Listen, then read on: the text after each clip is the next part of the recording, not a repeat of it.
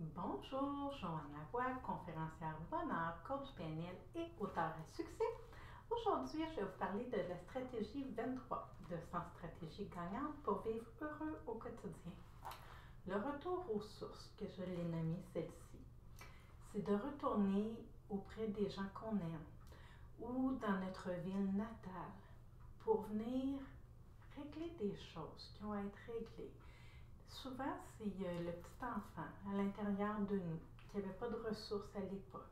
Donc, de prendre le temps de revenir aux sources pour donner des ressources à ce petit enfant à l'intérieur de vous, des fois a juste besoin d'être sécurisé, d'être réconforté, qu'on lui donne de l'amour.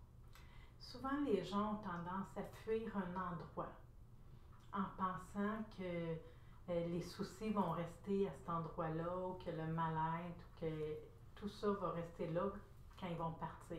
Je sais, je l'ai fait plein de fois, j'ai voyagé partout à travers le monde pour me rendre compte que j'étais dans des endroits exceptionnels et que pourtant le malheur était présent à l'intérieur du fait que ben, il me suit partout ce que je suis.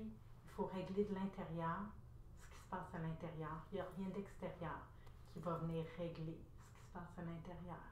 Donc, de prendre le temps de revenir aux sources, de voir les gens qui sont bienveillants pour nous, de revenir aux endroits où on était, euh, où il s'est passé différents événements pour venir faire la paix avec soi.